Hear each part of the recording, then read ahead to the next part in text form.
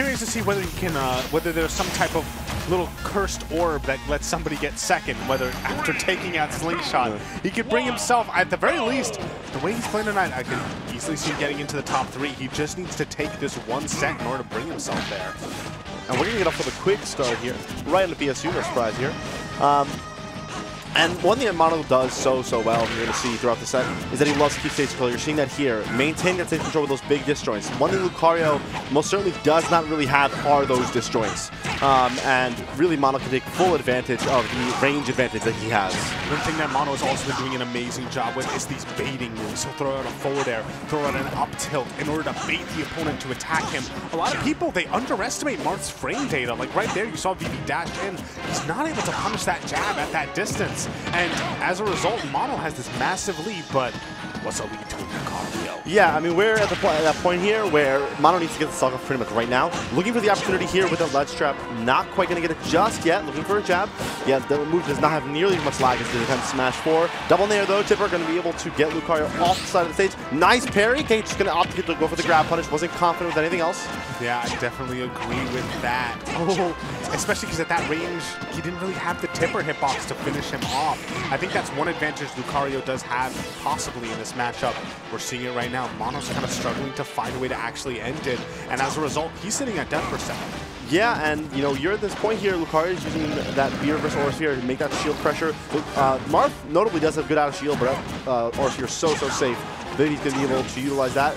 Oh, gosh. And the thing is here is that one thing that Marth does not have is um, I don't want to say not a lot of kill power, not a lot of consistent kill power. That F though, one of the few ways that does have that really consistent kill. Tipper F took him to that stock, and it's a huge one for Mono, taking that uh, first stock off of Vivi and moving forward into this set. Big, big, big, big, big. Especially big because Vivi loses all of that rage, all of that aura. He's notorious for still being able to get kills at these lower percents, but nonetheless, I, Mono has so much breathing room, lots of uh, potential to just extend a lead by getting him in one bad position and continuing it. Ooh, yeah, right now you want to get a little bit of percent on Lucario on that second stock. You don't want to put him into like super kill percent necessarily. Um, but you do want to get that extra credit. Obviously, as Mono, you're trying to take that stock. Um, but ideally here, ooh, hold on. We get tech chases. Not gonna quite get it right there. Mono has not really been able to follow up on those down airs like we've been seeing him do in other sets today. Uh, right as I say that, actually starts to finally find them. But I'm just, I'm loving the way. Oh, okay.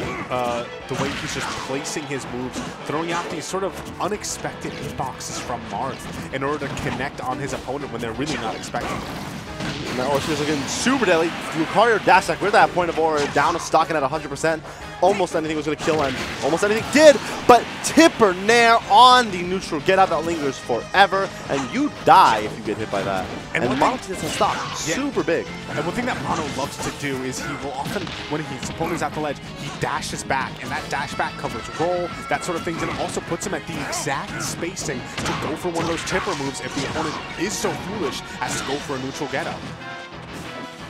Okay, now Mono gets back down to the ground here. Once again, going to try and maintain that strong stage control. Does have to go for a little bit of a risky down air there. Uh, Vivi responds with a jab.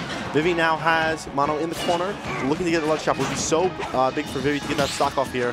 You already are at that percent where Marth is going to put you in the corner, and once you get a high percent versus Marth, he doesn't really kill you necessarily, but he puts you in disadvantage forever at high percents. I will say, look at the way that Vivi has cleaned up the neutral play here. Not relying on Aura, instead just being very careful with his spacing to avoid these combo starters, these hits from Mono. And as a result, he's managed to get all of this damage without taking that much himself. Yeah, and this is by no means any sort of bad deficit for Lucario. You have to be careful here, though. Uh, Mono coming back into the floor with invincibility. Not going to work out. Okay, quick combo right there for Vivi. 37% and is already in a position where now Lucario may be in the lead uh, just a little bit due to the fact that Marth is Marth. Yeah, I mean, we already, so we've seen one stock where Mono really struggled to kill, oh my god, uh, where he really struggled to kill, and then the other stock where he got like a nair at the ledge, like at 90 or something. Oh, and Mono's gonna need one of those tippers right now. Goodbye at 83%. That large amount of aura for Lucario after an excellently played game by Mono. It still does not end up working out. Vivi takes that game, that up air nearly killed right there. And but that uh, aura cancel into the side B, excellent little bait right there by Vivi. Yeah, and I think it's worth noting that it felt like what made Vivi get that comeback wasn't, you know, aura shenanigans, mm -hmm. which is what we normally know from Lucario. It was the fact that when he got to his last stock, he just cleaned up his play yeah. so much. He was playing exactly around those options that Mono was throwing, avoiding hits, finding little chips of his own, and that's what let him get the comeback and you know take the. Doesn't yeah any anybody if you're playing well you can you can make a comeback happen like that. Yeah, and and Vivi just showing how good of a player he is after really an excellent game number one by Mono. Vivi able to take that um, however, Mono going to his counter pick in um, small battlefield. And I like the pick. Um, uh, Triplat was banned in terms of battlefield, so no surprise that we're going right to small battlefield here. Uh, doesn't love slam, so also no surprise Yoshi. Yeah, and oh, we're seeing, I feel like that last stock energy from Vivi is continuing right here. The way he's moving, carefully placing himself just outside of the range of Mono. And now that Mono's in the corner, even though he doesn't have any aura really, he's still sending him off stage over and over again. Yeah, and really it, has been the story of now Vivi has been ready for these landings. A lot of uh, parries on those aerials. However, Mono in advantage now. Going to be able to continue the ledge trap with that fair. Ooh, Vivi drop shield there, but the Marth side B as inconsistent as ever. Going to drop there. Mono, however, taking a very, very small lead here at the moment in percent. Yeah. Okay, not catch that rolling with Venair this next stock is so pivotal. If Mono manages to take it, which he does with a beautiful anti-air up tilt, you know, I feel like that way that Vivi had been playing the neutral effectively was by jumping into the air a lot. Mono had been punishing it. He was saving it right for that moment, that sweet spot on the up tilt, able to take the stock put him in a very healthy lead right. Yeah, quick 56 with those up airs. Sour up air is great for Martha's low percents. Combo super duper well, really not a whole lot of lag, and it's, I believe only minus five on field as which is kind of wild. Um, but now Vivi's in a position where he has to take the stock now. Uh, down two as Lucario is really not the ideal positioning. Using that dair as a combo starter doesn't end up working out for Mono though. Um, at the ledge, Vivi not gonna get the punish. I, I, the thing is, I feel like Mono was in this exact same position in the last game and ended up slipping away from him. But I, I like this. He's playing a lot more Ooh. careful this time around. Ooh, that Aura Sphere nearly catching the neutral get up. Mono adjusting that shield out in time.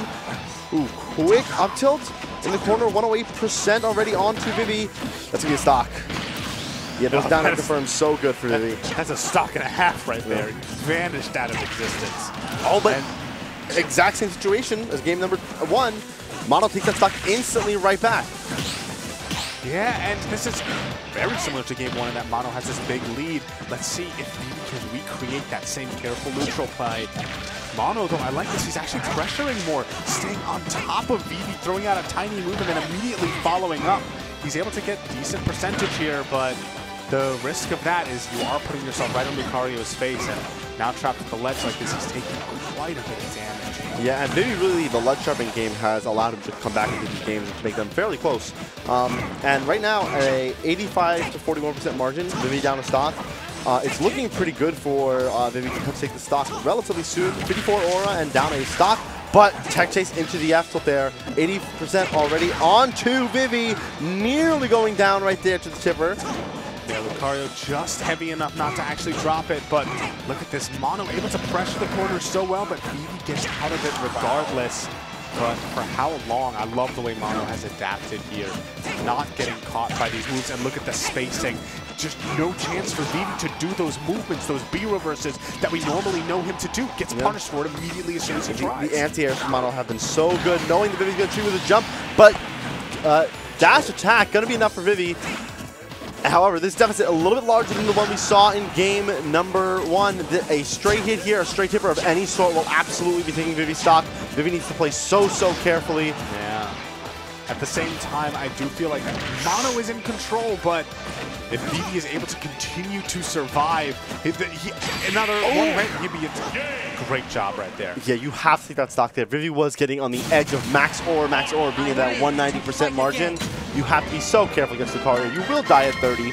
Um, once he does get that like super max aura, uh, you saw how big the aura sphere was there. But on the jump in after the B reverse aura sphere, gonna catch that with that with the forward air, and it's huge for Mono to get that game number two. I want to point out that the previously, you know, he went for that ledge jump Aura Sphere and got punished for it by the up tilt. He adjusted that time and jump canceled it, but Mono was still one step ahead. He stood there, did not up tilt, reacted to that jump. At that point, there were almost no options left from Vivi, and that's why he went up to meet him with that up forward air. Yeah, and that's just that little level of sort of, you know, the the change in game state between, you know, the middle of a game two where, you know, it's three stocks or two stocks and last stock against Lucario. Hero? That just shocked me. That's Um, I, it. Kind of does for me. I, I, I mean, I understand the merit here, especially because you're throwing Mono off his game. It felt like he did have a solid understanding on how Vivi wants to be playing that matchup. But nonetheless, I feel like Hero as a character, he's a shorty that just like his frame data is not able to compete with Marth. And if Mono's able to stay on top of Wow, him, full yeah, tipper combos with those up airs. Yeah, and I'm not shocked simply because, um, you, again, you do have that disjoint now. Um, and really, I'm mostly not shocked because Mono was the better player game one for the majority of it, right? Um, Mono had the read, and maybe recognize that. Say Lucario game two, because now he had a little bit of room to work, but now there's no room to work. You have to figure out with this Marth. And it seems like the um, hero's working out. A lot of anti-airs with these projectiles. It's working out currently, but keep in mind that Hero does not have that built-in comeback potential. He definitely has comeback potential with all of his uh, special moves. so I'm hovering a little bit back. Uh, yeah, bounce, just take it. Now Marth can't Yeah. use his projectiles on you. Yeah. Okay. Oh, wow. Uh, Vivi in a good position here. No double jump, but getting to opt for the ledge right there. Does mono. No aggressive landing. And no surprise there. Ooh, but the Tomahawk up tilt going to be so good. A classic for Hero. And it just allows here to really get those stocks off because you're so afraid. And not only that, it was the Tomahawk up tilt reversed. So you land on the ground, and that's what, the fact that it takes a while to arc over is really what baits the opponent to dropping their shield and getting hit by it. Yeah, and the reason that's so good specifically for Hero is because so many people are going for parries on his aerials, right? Because they're so slow. Um, but if you just Tomahawk up tilt, you're catching that, that uh, shield dropping or you're catching a jump out of shield. So you're kind of option selecting a little bit right there. However, right now, Mono, not in a terrible position, down 40% on the second stock. Gets a quick punish with that down air on the spot dodge, but not going to be enough to get a full combo just yet.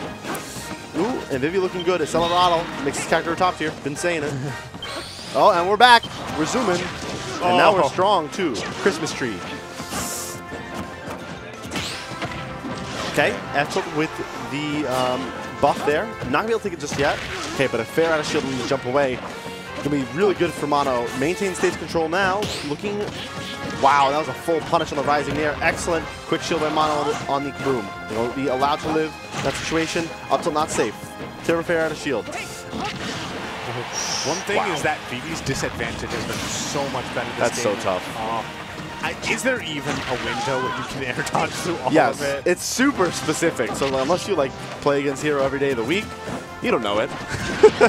um, but it's it's so tough right there. You have to get the stock off now.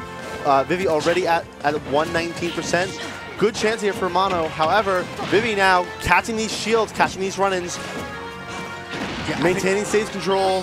One thing is that Vivi is kind of running in because he's trying to get inside of Marth's zone. You know, even if he does manage to get a hit, uh, it's not necessarily going to doom him if it's not the tip of Oh gosh. Yeah, that up not working out for Mono, but is going to be living to see another day, and then up tilt is going to be able to take that stock. Really scary positioning for Mono. You're at 88% already. Oh gosh. Oh. He's strong. He's fast. He has a low shield. And you died. That killed at 88 center stage. Hero's wild. However, that's going to be good moving on into winners finals. Mono getting sent down into loser semis. Did he Or losers quarters. Both of the buffs, or was it just the one? No, it was just the one. It was just Wow. um. Gosh, what's what's that one called? I always forget the difference. It's, I know Oomph is one, and the other one is um.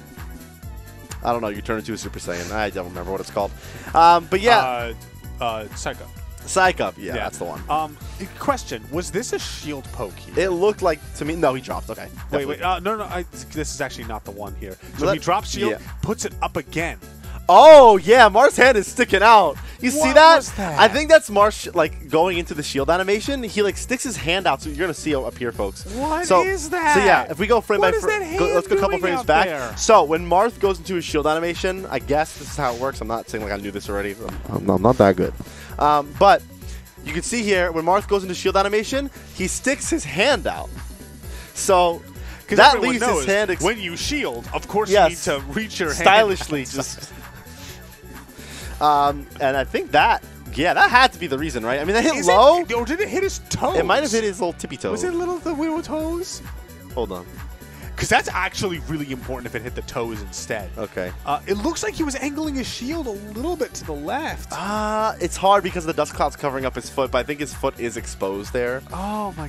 yeah definitely yeah you can see it right there hold on so right there you can see the little you can see just a little ah where was You're seeing the hitbox originate at the, the the connection is originating Oh, there we at go. his feet. There we Yeah. go. Now you can see the little foot, footsie right there. Martha's still in chill. He's like, I'm fine. I don't know what you're talking about. And then Yeah, next frame, he think that- explodes. Yeah. Um. Yeah, that's his foot for sure. That's his foot, which is like in that instance. Even if you if you had the presence of mind, you would be angling your shields up. I think Mono was just doing normal shield down, but the fact Yeah. that he hits